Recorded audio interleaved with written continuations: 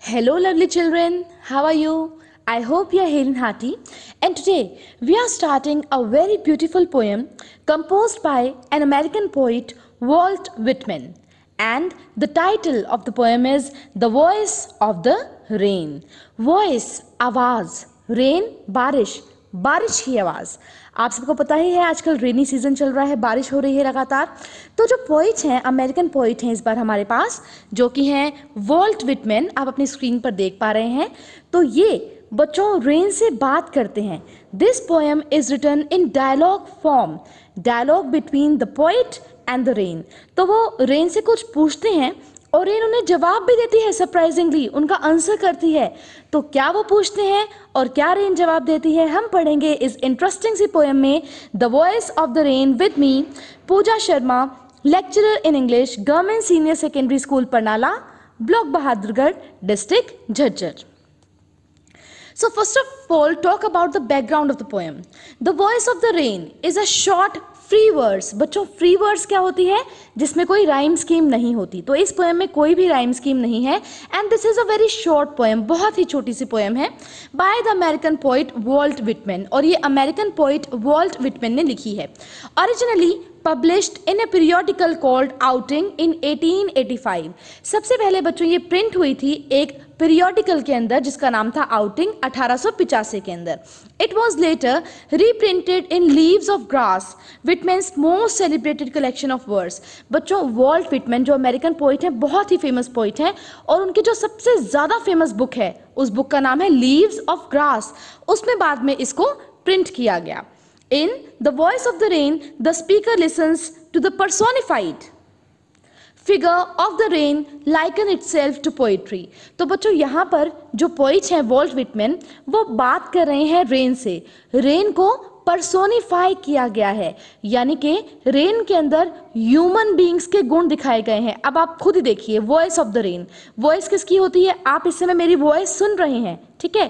तो ये जो वॉइस है, बोलना speaking is an attribute of human beings तो जब हम किसी निर्जीव वस्तु के अंदर एक जीवित प्राणी वाले गुण को दिखाते हैं तो वो हो जाती है पर्सोनिफिकेशन मैं आपको बाद में फिर से बताऊँगी, जब मैं आपको इसके लिटरेरी डिवाइसेस कराऊँगी। तो यहाँ पर रेन को पर्सोनिफाई किया गया है और उसको लिंक किया गया है पोइट्री के साथ। Describing each stage of the water cycle the poem pays homage to the restorative power of the natural world and claims that poetry nourishes humanity just as rain nourishes the earth तो बहुत ही प्यारा सा जो theme हमें इस poem का मिलता है वो ये है कि जो पोइट्री है, वो नरिश करती है, पालन पोषण करती है ह्यूमैनिटी का, मानवता का, हम लोगों का। पोएम सुनकर कितना अच्छा लगता है। भावनाएँ जो पोएम के अंदर व्यक्त की गई हुई हैं, उनको महसूस करके कितना अच्छा लगता है। उतना ही अच्छा लगता है अर्थ को, पृथ्वी को, जब बारिश होती है, क्योंकि उसको उससे नरिशमेंट मिलता है, पालन पोषण होता है। वाटर साइकिल किस तरह से आप साइंटिफिक एक एंगल भी इसका लेकर चलें कि किस तरह से साइंस में आपने पढ़ाई होगा कि बारिश आती है, वो पूरी प्रोसेस भी हमें इस पोएम में देखने को मिलेगी।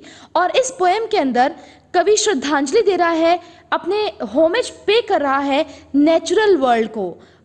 ताकि वो क्योंकि जो पानी है बारिश जो पानी के रूप में बरस रही है वो रिस्टोर करता है पूरी की पूरी अर्थ को उसको नरिश करता है उसका पालन पोषण करता है। तो इस तरह की बातें आप इस पोएम में पढ़ेंगे। So without any delay let's get started with our poem the voice of the rain by Walt Whitman and how art thou said I to the soft falling shower, which, strange to tell, gave me an answer. As here translated, I am the poem of the earth, said the voice of the rain. And who art thou? बच्चों ये art है R A R E thou you Y O U जो प्राचीन English language थी ancient English language में art लिखा जाता था आर को ए आर ई को और दो दी ये वर्ड्स यूज़ किए जाते थे जिनका मतलब था you and who are you said I I means the poet to the soft falling shower soft means नर्म, कोमल। फॉलिंग मीन्स गिरते हुए शोवर मीन्स बोछारे। एंड हु आर यू मैंने पूछा, कवि ने पूछा हु आर यू तुम कौन हो? किससे पूछा? कोमलता पूर्वक गिरती हुई बोछारों से रेन की ड्रॉप्स से। विच स्ट्रेंज टू टेल और बड़ी अजीब स्ट्रेंज घटना हुई। बड़ी अजीब है वो बात बताने में। क्या अजीब घटना हुई? Give me an answer the shower gave me an answer जो बारिश थी, जो रेन थी, उसने मुझे उत्तर किया मेरे प्रश्न का, जब मैंने पूछा हुआ यू एज हियर ट्रांसलेटेड और मैं यहाँ पर उसको ट्रांसलेट कर रहा हूँ, यहाँ पर उसको लिख रहा हूँ, उसने क्या कहा? I am the poem of the earth बच्चों, कितनी प्यारी लाइन कही है यहाँ पर रेन ने, कि मैं हूँ धरती की कविता। ठीक है? अब यहाँ पर देखो, मैंने शुरू में आपको बताया था ना इसकी इंट्रोडक्शन में, कि जैसे कविता नरिशमेंट करती है हमारे हार्ट का, हमारी फीलिंग्स का, हमारे थॉट्स का। वैसे ही जो रेन है वो नरिशमेंट करती है किसका? अर्थ का, पृथ्वी का। तो वो कहती है, मैं हूँ पृथ्वी की कविता। Said the voice of the rain और ये बात किसने कही? आवाज़ ने। किसकी आवाज़ ने? रेन की आवाज़ ने। So the poet here describes a mystical experience बड़ा ही रहस्यपूर्ण अनुभव यहाँ पर कवि बता रहे हैं। Once there was a soft shower of rain बोछारे थी हल्की हल्की कोमल कोमल गिर रही थी।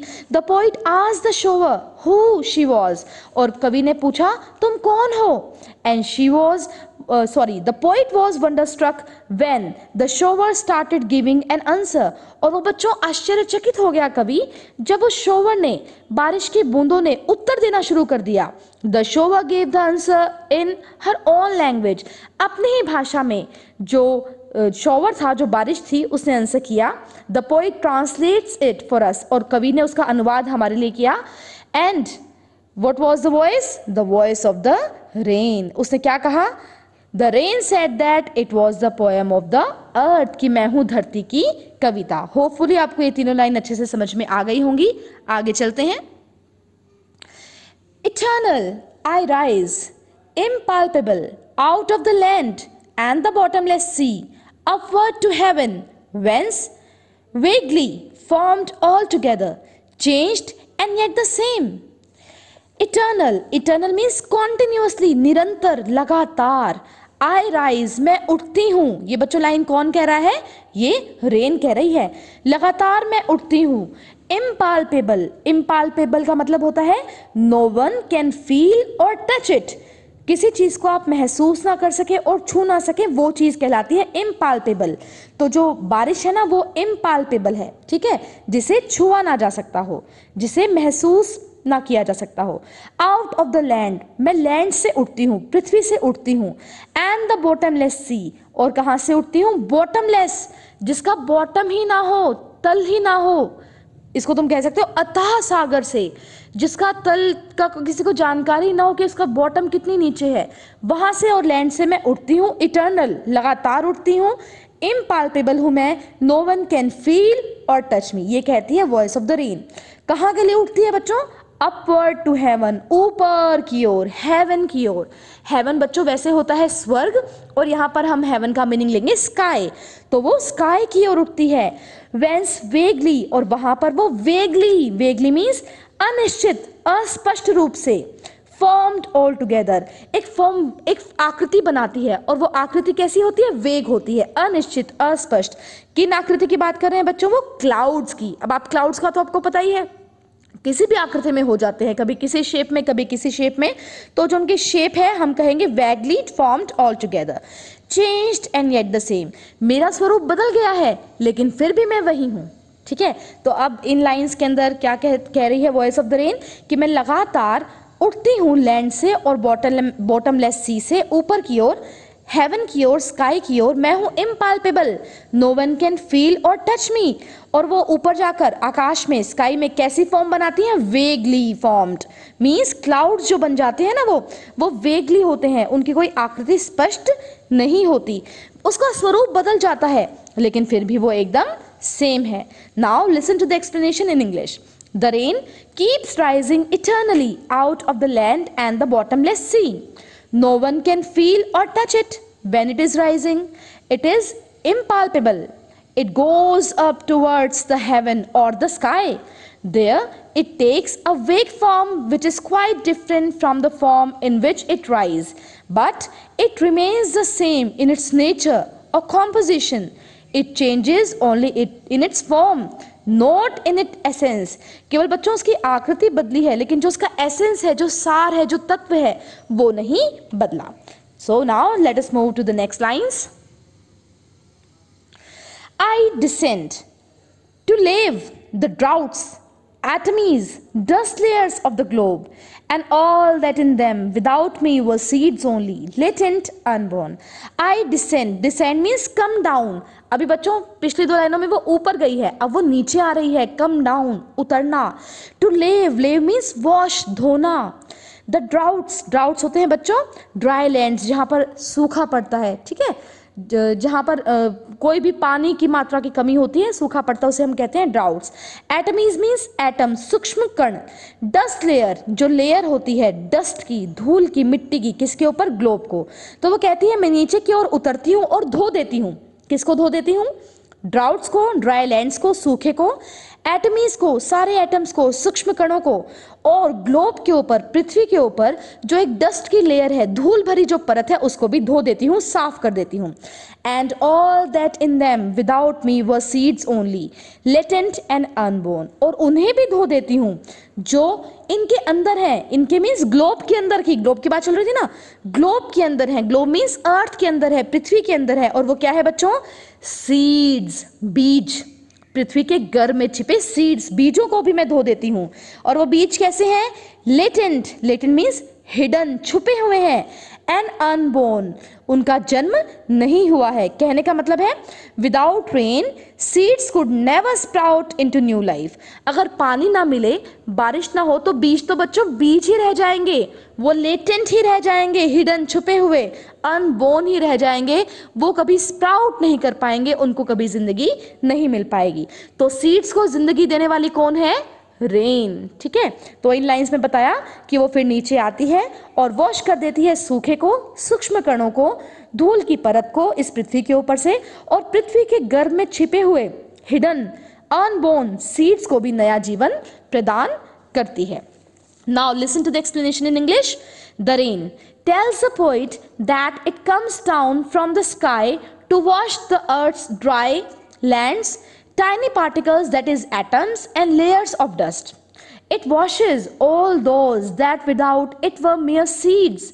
Without the rain, they could never sprout into new life. They would have remained unborn. ठीक है तो वो नीचे आती है सूखे को धो देती है सूक्ष्म कणों को साफ़ कर देती है डस्ट लेयर्स को हटा देती है और सीड्स को उपजने में स्प्राउट करने में उनकी हेल्प करती है now we are moving towards the next lines and forever. By day and night, I give back life to my own origin and make pure and beautify it बहुत ही खूबसूरत लाइन है बच्चों ध्यान से सुने. And for ever for ever means हमेशा के लिए. बाय डे एंड राइट दिन में भी और रात में भी. I give back life to my own origin जिससे मेरा ओरिजिन हुआ है. मेरा मीन्स रेन का. ओरिजिन मीन्स बर्थ हुआ है। वो देखो कहाँ से निकली थी, वो शुरू कहाँ से हुई थी? देखो, उसने कहा था ना, मैं लैंड से ऊपर जाती हूँ बॉटमलेस सी से ऊपर जाती हूँ। तो उसका जन्म किसके ऊपर हुआ? अर्थ के ऊपर। तो वो कहती है, मैं अर्थ को दोबारा से ज़िंदगी प्रदान करती हूँ। जिसने मुझे जीवन दिया है, मैं उसको ही जीवन देती हूँ। ठीक है? अर्थ को यानी कि, और क्या करती हूँ? And make pure and beautify it और उसमें प्योर बनाती हूँ, पवित्र बनाती हूँ, शुद्ध बनाती हूँ। कैसे शुद्ध बनाती हूँ बच्चों? सारी डस्ट साफ़ हो जाती है। वातावरण क्लियर हो जाता है, कोई भी धूल के कर्ण वगैरह हमें नहीं दिखते तो वो प्योर हो जाता है एंड ब्यूटिफाई और क्योंकि पेड़ पौधों को सीड्स को पानी मिलता है तो सीड्स जो है स्प्राउट करते हैं, पेड़ पौधे धुले हुए खूबसूरत लगते हैं तो अर्थ को वो ब्यूटिफाई भी करती है, खूबसूरत भी बनाती है. तो इन दो लाइन्स में वॉल्ट फिटमैन कहते हैं। कि जो रेन है, वो दिन रात अपने ओरिजिन को, यानी कि अर्थ को ज़िंदगी देती है, उसे प्योर बनाती है, शुद्ध बनाती है, पवित्र बनाती है पायस बनाती है एंड ब्यूटीफुल बनाती है मार्वलस ब्यूटीफुल वंडरफुल गॉर्जियस कैसे?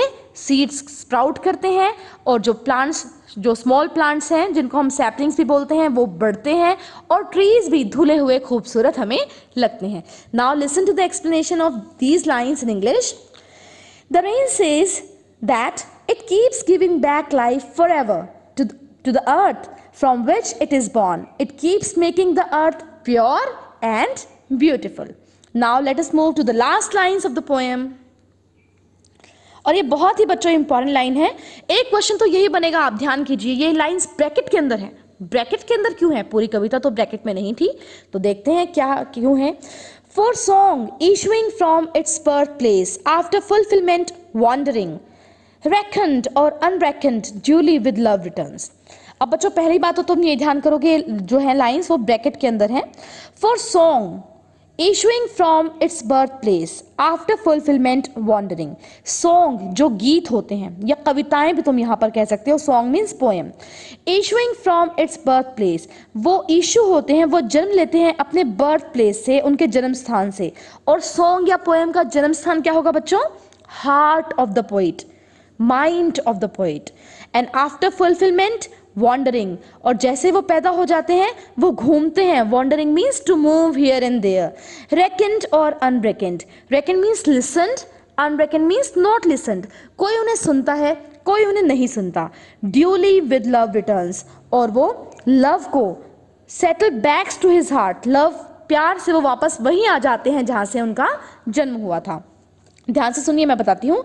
In these lines the poet compares rain to the song of a poet और the poem of a poet ठीक है? तो कवि जो है, वो किसी कविता से रेन का कंपैरिजन कर रहे हैं। Song rises from the heart of the poet कविता का या सॉन्ग का, गीत का जन्म कहाँ से होता है? पोइट के हृदय से। Poet sings and showers is strains on the earth अब कवि उसको अपनी मधुर आवाज़ में गाता है, कविता को जैसे हम वॉल्ट विटमन की कविता भी अब पढ़ रहे हैं तो कवि ने ये सुनाई। It doesn't matter to him whether anybody hears his song और नॉट कवि को कोई फ़र्क नहीं पड़ता कि कोई उसका सॉन्ग सुन रहा है या नहीं सुन रहा, उसे तो बस गाना है, ठीक है? तो वो गाता है।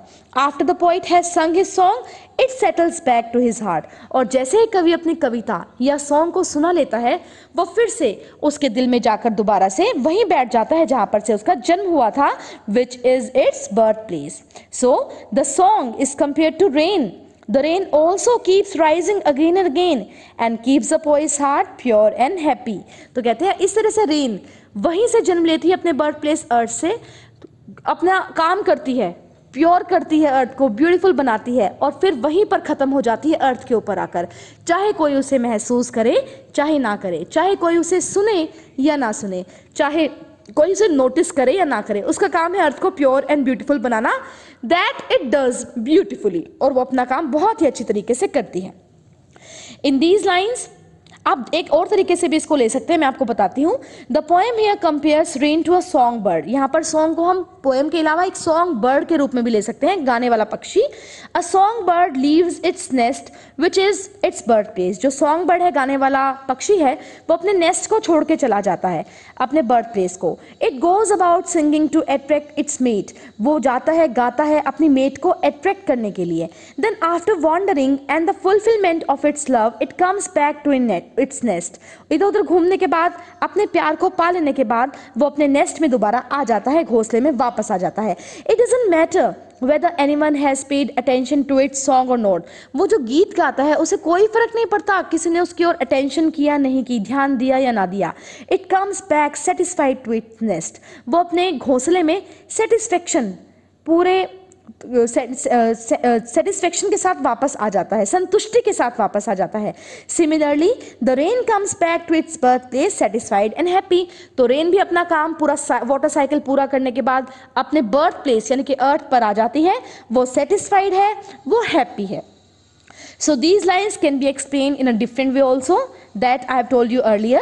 The poet compares the rain to a song, song of a poet. A song rises from the heart of a poet. The poet sings his song and showers his strain on the earth. It doesn't matter to him whether anybody hears his song or not. After the poet has sung his song, his, it settles back into his heart, which is its birthplace. The song, just like the rain, keeps rising again and again and keeps the poet's heart pure and happy तो बच्चों ये थी explanation इस poem की। बड़ी ही short और sweet poem है the voice of the rain अब मैं आपको फिर से एक बार इसकी समरी बता देती हूँ। In this poem, the poet Walt Whitman writes of conversation he once had with rain. तो एक बार कवि अमेरिकन पोइट है हमारे पास इस बार वॉल्ट विटमैन की बातचीत हुई डायलॉग्स एक्सचेंज हुए रेन के साथ। It happen when the rain drops gently from the heavens अब बच्चों, ये तब हुई जब rain drops gently fall from the heaven वो स्काई से गिर रहे थे। द पोइट आज the rain who are you poet ने पूछा, तुम कौन हो? And strangely the rain replies I am the poem of the earth ये बच्चों, आता है क्वेश्चन पोएम के अंदर कि उसने क्या जवाब दिया? I am the poem of the earth तो रेन ने कहा, मैं हूँ कविता धरती की. Moreover the rain said that it was born in the form of invisible and intangible vapours और बच्चों, वो वाष्पकण बन के, ठीक है, जो दिखाई नहीं देते, जिनकी शेप का भी हमें पता नहीं होता, ऊपर की ओर उठते हैं। These vapours rises eternally from the deep water और ये वेपर्स कहाँ से उठते हैं? गहरे पानी से। डीप वाटर बॉडीज जैसे कि इसने पोइट ने क्या यूज़ किया था word bottomless sea and earth land और पृथ्वी के भागों से। After that it reaches heaven heaven means the sky and changes its look to form clouds और बच्चों, फिर वो जो वेपर्स होते हैं वाष्पकण वो ऊपर आकाश में पहुँच जाते हैं और एक वेगली फॉर्म ले लेते हैं वेग फॉर्म ले लेते हैं, अनिश्चित, अस्पष्ट एक आकृति ले लेते हैं और वो आकृति होती है क्लाउड्स की। बादलों की। That can change shapes still it remains the same at its core अब बच्चों, बादल तो कोई भी शेप ले सकते हैं, हवा के साथ वो तो इधर उधर होते रहते हैं। अब उसकी जो आकार है, वो तो बदल गया है, लेकिन एसेंस जो है, जो सार है, वो नहीं बदला है। मेन थिंग वही है कि उसको भी पानी गिराना है, नीचे वापस अर्थ के ऊपर आना है। अर्थ को बनाना है pure and beautiful Then again it returns to earth as little droplets that wash away with dust and restore the drought ridden dry land. फिर बच्चों अगेन वो बारिश के रूप में बरसती है ड्रॉपलेट्स बूंदों के रूप में और धो देती है डस्ट को सूखे को और ड्राई लैंड को। Due to its action new plants find a life which otherwise remained hidden and unborn inside the land as mere seeds और धरती के अंदर लेटेंट वर्ड यूज़ हुआ था, यहाँ पर यानी कि हिडन और अनबोर्न जो पैदा नहीं हुए थे, उन सीड्स को पानी मिलता है और वो स्प्राउट करते हैं, उन्हें नई ज़िंदगी मिलती है। अगर उन्हें पानी नहीं मिलता बच्चों तो वो वैसे ही लेटेंट रह जाते हिडन रह जाते धरती के गर्भ के अंदर। Hence this perpetual cycle life style ensures that the rain return to its origin it gives life to earth making it pure and beautiful तो बच्चों, ये वही वाटर साइकिल है जो आप साइंस में पढ़ते हैं। इसका डायग्राम भी आप लोगों ने बहुत बार बनाया होगा साइंस के अंदर। तो आप इसको ज़रूर याद करें। साइंटिफिक प्रोसेस पूछी जाती है कई बार पेपर के अंदर। और रेन दोबारा से आती है अर्थ के ऊपर और अर्थ को बनाती है pure and beautiful After hearing the rain story, the poet realizes that its life resembles that of any song, and the song's birthplace is the poet's heart. When the song is complete, it wanders from one place to another As it travels, it may change or remain the same, but one day it returns to the poet with all due love of the listeners. तो बच्चों फिर वो last lines के अंदर compare करता है rain को एक सॉन्ग के साथ जो पोइट के हृदय से उठता है वो घूमता है पोइट उसे गाता है कोई फ़र्क नहीं पड़ता कोई पोइट के सॉन्ग को सुन रहा है नहीं और अंत में वो दोबारा से आ जाता है अपने रियल बर्थ प्लेस पर that is the heart of the poet with with getting the love of the listeners जैसे आज हम भी पढ़ रहे हैं वॉल्ट विटमिन की कविता और उसको एंजॉय कर रहे हैं However, the poem is written from the point of view of someone who asked the rain who it was, and the rain answers him, I am the song of the earth, and then it continues to tell how it comes from the earth, only to return once again to wash it and nourish it. That if it were not for the rain, the seeds would remain seeds and we won't get any flowers from them. तो यहाँ पर जो poem है वो लिखी गई है। Point of view poet के पॉइंट ऑफ़ व्यू से वो पूछता है उनसे, तुम कौन हो? और वो जवाब देती है I am the poem of the earth I am the song of the earth और बच्चों, वो बताती है कि कैसे पूरा वाटर साइकिल पूरा करके वो फिर से अपने बर्थ प्लेस को वॉश करती है नरिश करती है, उसे खूबसूरत बनाती है प्योर बनाती है और सीड्स को स्प्राउट होने में उनकी हेल्प करती है। Also, if the rain hasn't returned the seeds, would remain seeds and not flower into the full potential and giving back life to its origin. Afterwards, the poem turns into a story which tells a song. The song tells the story of rain, its birthplace, wandering reckoned or unchecked duly with love returns. It means that song come from the soul after they have been heard and thought good or bad written with love. अब बच्चों last lines के अंदर वो song के साथ उनका comparison करता है रेन को कोई देखे ना देखे कोई महसूस करे ना करे कोई इसको फील करे ना करे लेकिन रेन को अपना काम तो करना ही है और उसका काम क्या है अपने बर्थ प्लेस को प्योर एंड ब्यूटीफुल बनाना When the rain rises and falls, the poem also do the same, like songs and other forms of beauty from the soul. Besides, the rain is like a song that originates from its birthplace, that is the heart of the poet. Moreover, it travels everywhere around the globe and returns back to the poet in the form of praise. However, whether it is ruined or not, it returns back with a lot of love from its birthplace. ये मैं already आपको पूरे अच्छे से बता चुकी हूँ. It is just summary so that you can learn it easily. अब बच्चों कंक्लूजन क्या है हमारी पोएम का through the voice of the rain Summary the writer wants to portray the life of rain and how it is like a song तो इस पूरी poem ने हमने रेन का लाइफ साइकिल पढ़ा और रेन को हमने कंपेयर किया सॉन्ग के साथ।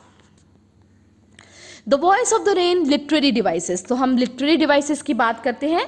सबसे पहले है परसोनिफिकेशन क्या होता है बच्चों परसोनिफिकेशन जब किसी नॉन लिविंग थिंग को लिविंग थिंग के गुण दे दिए जाए, ठीक है?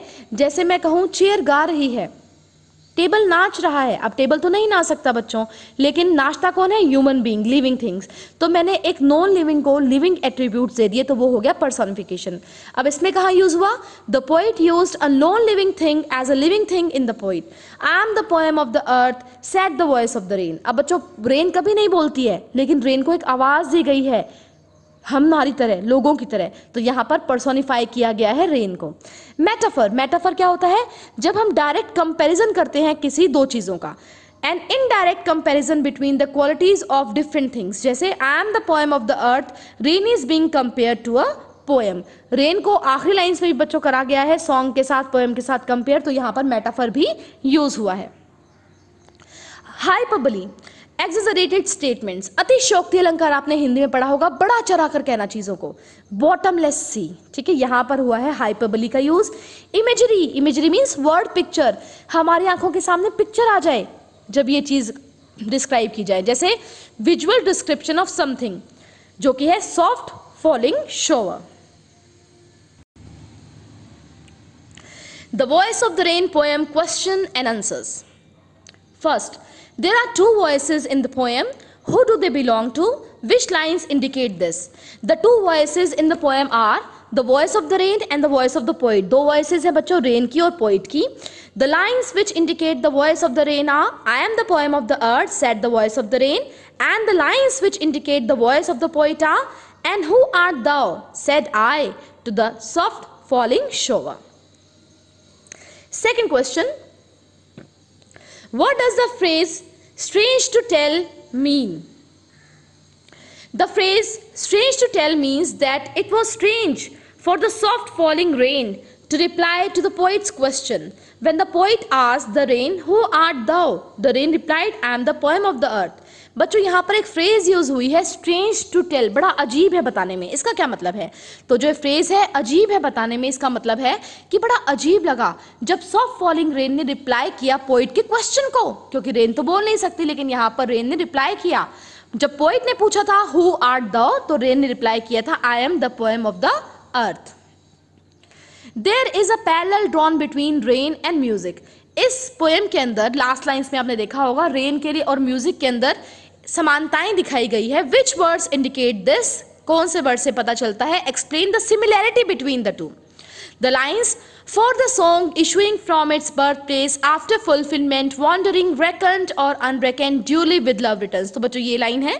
Draws a parallel between rain and music here the poet compare the life cycle of the rain and the song as the song originated from the heart of the singer wanders to the world whether liked or not, comes back to its birthplace in the end with lots of love. Similarly, the rain that originates from earth, its birthplace, fulfill its duty to purify and purify the earth and wanders and comes back with love for its creator. तो बच्चों song poet के heart से निकलता है poet उसे सुनाता है कोई सुने ना सुने फ़र्क नहीं पड़ता और वो वापस आ जाता है अपने बर्थ प्लेस यानी कि पोइट के हार्ट में इसी तरह से रेन का बर्थ प्लेस है अर्थ वो वहाँ से निकलती है अर्थ को ब्यूटीफुल बनाती है प्योर बनाती है, घूमती है उधर उधर और वापस प्यार के साथ वापस आ जाती है अपने क्रिएटर के पास, यानी कि अर्थ के पास। Fourth how is a cyclic movement movement of rain brought out in the poem cyclic movement क्या था? कंपेयर करें इसे with what you have learn in science जो मैंने आपको बताया था ना वाटर साइकिल पूछा जाएगा। साइंस वाली पूरी की पूरी प्रोसेस आपको बतानी है। In the poem the water rises from the land and bottomless sea. In the form of vapor, it then changes its form, transforms itself into clouds. It comes down to the earth in the form of rain to wash drought, provide water, give life to unborn and latent seeds inside the earth. The rain purifies and beautifies the earth. In science, the water is evaporated in the form of water vapor, condenses in the sky to form clouds, and then rains down in the form of water into rivers, streams, ground, ocean, etc. In the poem, the rain describes its, its eternal journey itself. तो बच्चों same ही process थी उठती है rain अर्थ से bottomless सी से vapours के रूप में ऊपर जाती है, वहाँ पर क्लाउड्स का रूप लेती है और फिर बारिश के रूप में बरसती है और वापस आ जाती है अपने बर्थ प्लेस यानी कि अर्थ के अंदर। Why are the last two lines put within bracket ये मैंने आपको बताया था लास्ट टू लाइन्स ब्रैकेट में है। इनका क्या महत्व है? The last two lines are put within the bracket because they are the observation made by the poet and his thoughts poet की खुद की वो ऑब्जर्वेशन है, ऐसा वो सोच रहा है, उसके खुद के विचार है। He made a similarity between the rain and the music वो एक सिमिलैरिटी स्थापित करना चाह रहा है कॉमन बात बताना चाह रहा है रेन की और म्यूज़िक की। इसलिए उसने लास्ट टू लाइंस को रखा है ब्रैकेट के अंदर। Six question list the pairs of opposite found in the poem opposite कौन कौन से हमें इस पोएम के अंदर मिले? देखिए डे और नाइट रेकेंड एंड रेकेंड जिसका मतलब था लिसनड नॉट लिसनड राइज उठना डिसेंट कम डाउन नीचे की ओर आना। तो with this we have completed the voice of the rain hopefully आपने बहुत एंजॉय किया होगा इस छोटी सी पोएम को। छोटी, लेकिन कितने सारा और अच्छे से इसकी एक्सप्लेनेशन आपको आई थिंक समझ में आ गई होगी। Thank you so much for watching this presentation is made by Pooja Sharma lecturer in English government senior secondary school Parnala block Bahadurgarh district Jhajjar